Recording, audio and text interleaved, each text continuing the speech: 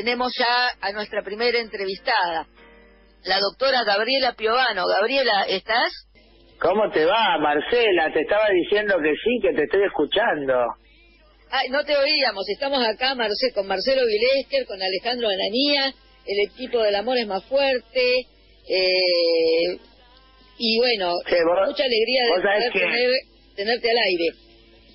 Bueno, muchísimas gracias. Para mí también. Y lo que quería recordar eh, fue que mm, cuando a los 30 años de Maradona, que cumple los años el 30, eh, hizo saltar las bancas de varios países, de varias eh, loterías, con el 30, ¿no? Así que ayer les dije que, que justamente recordábamos esto y pusimos todos los números de los que viste los tabuleros todos los números los que les tenés que jugar y salió el 16. Así que alguno levantó un panguito todavía. Pero es, ese Diego, ese es grande. Bueno, le comentamos a la audiencia del Amor es más fuerte que estamos hablando con la doctora Gabriela Piovano, infectóloga, eh, y experta y en, experta en acomodar, acomodar, gente, sonsos, digamos. experta en acomodar sonsos. Eh, en atender, en atender, viste que dice, atiende boludo, bueno, la doctora atiende atiende a todos porque vos hiciste un juramento un poco y tenés que atender a todos por igual, ¿me entendés? bueno, bueno, Gabriela, y bueno, ya poniéndonos serios, eh, no, te, llamamos porque eh, la Argentina, en el, en el marco de esta pandemia, estamos atravesando eh, esta larga, larga pandemia que tanto agobia al mundo, ¿no? Hay eh, se ha cumplido récord de infectados en el mundo el día de ayer, eh, con ciudades en Alemania, Francia, España, donde se está aplicando eh, toque de queda y cierre de actividades y sin embargo la ciudad parece que va a contramano y tan a contramano va, y te queríamos consultar sobre eso, que aparentemente no anota con velocidad suficiente la persona, la cantidad de personas tristemente fallecidas.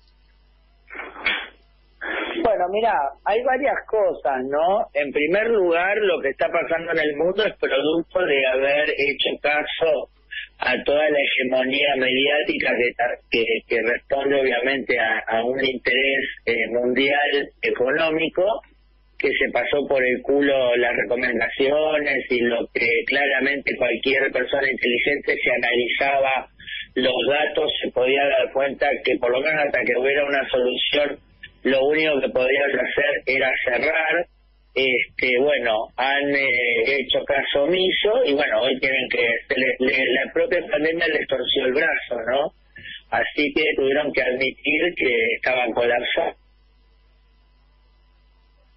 Hola. No, Alemania tiene no sé qué, porque Alemania y Alemania. Alemania y Alemania, pero si yo infecto 10 personas por día, por 5 o 10 días, y cada persona que yo infecte va a infectar a 10 personas por día, por más que seas quien seas, y si de toda esa gente, que imagínate que hablamos de cifras monstruosas de un día para el otro, un 20% va a necesitar tener oxígeno, por ejemplo, obviamente te va a hacer colapsar el sistema. No hay forma de que no suceda. Entonces, lo único que había que hacer era juntarse a esperar que pase lo que iba a pasar. Lo que a, uno le da bronca es decir, puta, eh, lamentablemente eso significa gente muerta, eh, gente vital, gente eh, amada, gente que tiene una vida, que tiene, fíjate Garana, fíjate un montón de gente que se nos ha ido, compañeros, colegas, no estamos hablando de algo que no que no nos va a tocar o que no nos toca. Entonces, eso era la, es la tristeza que, a uno le da todo esto. Eso por el lado de esta perdóname, ya te terminó, la, la fantochada esta del rebrote y todo esto, que no es más que lo mismo, que es lo mismo que nos pasa acá.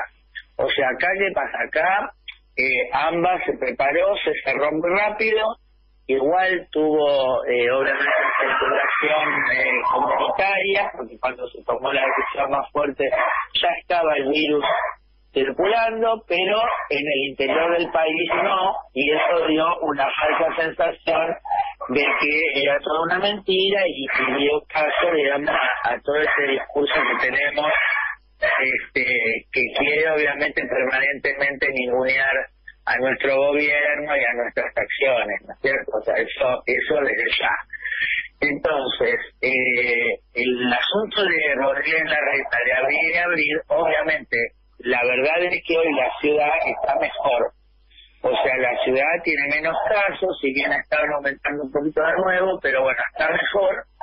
Pero, o sea, quiero decir, está mejor no por los números que ellos nos dan, sino por lo que uno está informado y al trabajar, digamos, dentro del sistema, obviamente este, sabe la realidad de la demanda de camas de la ocupación de camas, etcétera, etcétera.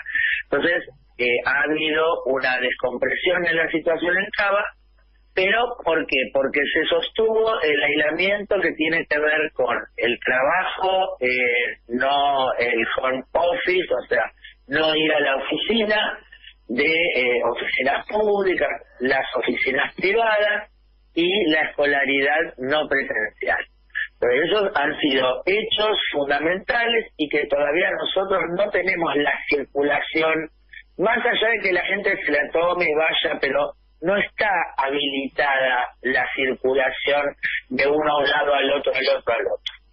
Entonces, eso está actuando como si fueran corrales donde la gente se maneja, se van infectando, pero esa, esa, ese pequeño mini brote se, se estanca, digamos, eh, en, un, en un grupo y eso hizo que se pueda ir desagotando. Ahora, en el momento que se habla de nuevo de educación presencial en forma masiva y los trabajos eh, que son bajo el mismo techo y la gente comparte y no tiene la distancia, fíjate lo que pasa con el fútbol, fíjate lo que pasa con todo, va a volver a estallar.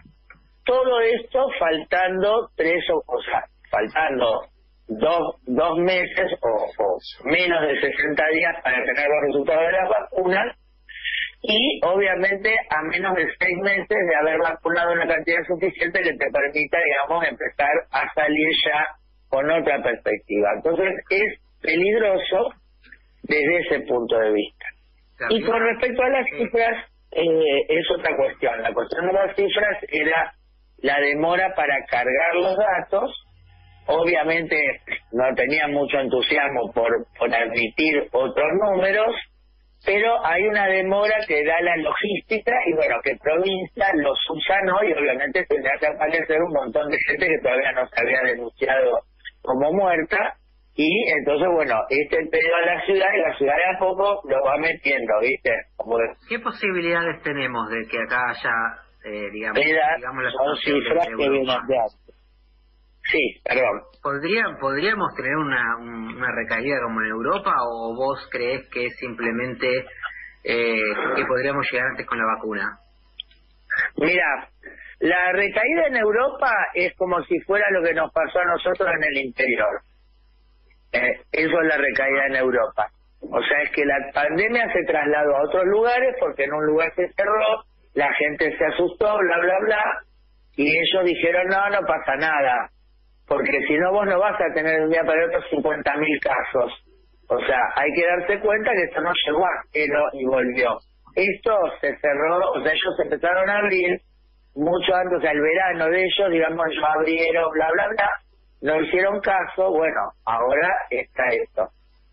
Lo que pasa con nosotros es esto que vos decís, tal vez si nosotros logramos, obviamente vos fíjate que el interior está cerrando, porque obviamente ningún gobernante local puede bancarse que se le muera la gente masivamente y no hacer nada. O sea, esto es un hecho, por más que, que ellos después la quieran dibujar. Pues fíjate lo que pasó con, con el de Jujuy, con Morales, que calladito vino, se sentó, dijo muchas gracias, muchas gracias, porque se mandó un cagadón infinito, infinito. Entonces, eso, eso es lo que pasó. Entonces, obviamente el interior va a empezar a cerrar y va a empezar a manejar de nuevo sus números, si Dios quiere, en X tiempo. Entonces, cuando vos tengas la, los resultados de las vacunas, por eso es lo otro que es muy importante que entendamos, que no estamos hablando de la vacuna, estamos hablando de las vacunas. Entonces, las vacunas van a ser, cada una va a tener su, eh, digamos, su seguridad, su rasgo de seguridad y su rasgo de eficacia. Entonces vas a tener para elegir, ojalá tres, cuatro sean buenas, y entonces tengas cuatro vacunas para aplicar, porque entonces obviamente no es lo mismo contar con un millón de dosis de cada de las vacunas que cuatro millones ponele de una vacuna sola. Entonces vas a vacunar más rápido y obviamente vos en, los, en las localidades donde vos tengas vacunados más del 60% de la población, vos ahí ya estás teniendo lo que se llama la inmunidad de rebaño, por lo cual entonces sí vas a poder, digamos, igual todavía sosteniendo algunas medidas, vas a poder empezar a abrir y, digamos, en meses ya recuperar tu normalidad. O sea, quiero decir que tenemos por delante una salida. Entonces es una lástima que la quememos, ¿no es cierto? Gabriela, ¿qué tal? Marcelo, te saludo. Eh, vos siempre que tenés la característica de contestar la pregunta que uno está pensando antes de que uno las pregunte. o medida que vas hablando, yo voy tachando. Bueno, esta no, esta no. quería preguntar, era, pero rápidamente, porque acá me dicen tenemos que ir a la tanda, si vos crees que, que cuánto tiempo llevaría, es una pregunta que por ahí no tiene respuesta, volver a la normalidad una vez que estén las vacunas. O sea, una vez que se vacune el 60%, ¿se volvería alguna vez completamente a la normalidad o tenemos que ir acostumbrando la idea de que no, va a ser nada igual nunca más? No, a ver, yo creo que no tiene que ser nunca más nada igual porque tenemos que haber aprendido que el sistema de salud tiene que estar fuerte, robusto, que tenemos que tener eh, buenos médicos, buenos, ¿no? Y tener ahora buenos filtros y si se van a manejar eh, con, turismo con Europa realmente estar muy cuidadosos. Obviamente que hay una situación que te puede llevar a lo que se habla de la endemia, que es como la gripe, ¿no? Que siempre tenés un caso, unos casos y yo qué sé. Vos fíjate cómo el hecho de que se cerró el aeropuerto hizo que no tengamos nosotros este año brote de gripe y eso también nos salvó de que no colapsaran los lugares. Eh, yo creo que pasado el, eh, digamos, la vacunación tiene que ser a los grupos que lo necesitan, que son los grupos eh, de trabajadores indispensables, esenciales, perdón, y después los grupos de riesgo. Y después sí empezar, empezarán a vacunar a otras poblaciones y obviamente eh, siempre estás, eh, desgraciadamente, con este mundo donde se cruza, digamos, el humano con, la naturaleza y, se pone a disposición de, de, de estos brotes de, inclusive nuevos virus, bueno, siempre estás ahí. Ahora, esto nos tiene que dejar una enseñanza y esto tiene que ser lo que no vuelva a ser eh, normal. Después tal vez el trato entre nosotros sí en algún momento vuelva a ser casi igual o igual al que teníamos de antes. Perfecto, Gabriela, eh, te agradecemos muchísimo la, eh, este contacto y con tanta va a volver a haber sexo, va a volver, va a volver a haber sexo entre la gente, quiero decirle. bueno, no te tan, tan directamente, te agradezco. bueno, yo soy la infectóloga del pueblo. Yo soy la infectóloga del pueblo y sé muy bien lo que el pueblo necesita. Ah. muy bien. Te agradecemos entonces nuevamente, doctora Gabriela Piovano, por este contacto y, esperamos volver a, a, convocarte para, para que nos sigas instruyendo y bueno, y, a seguir defendiendo la salud de los argentinos. Eh, muchísimas gracias. Tenemos que despedirte porque ya estamos al filo de la tanda. Dale, un besito grande y bueno, la próxima soy más sintética. No, extraordinaria. Muchas, muchas gracias. Besitos.